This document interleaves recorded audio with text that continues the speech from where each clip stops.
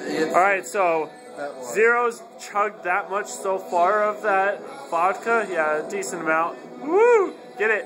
All right, so I just won beer pong. He just re-racked already, but go ahead and this is the rest of the thing because this was what the bet was on the other half of the vodka.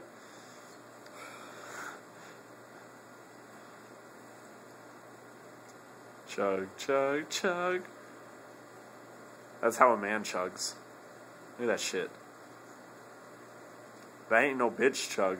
That's straight man chug. Man chug. Ah, chest bump. Ah, yeah. he threw his hat in everything.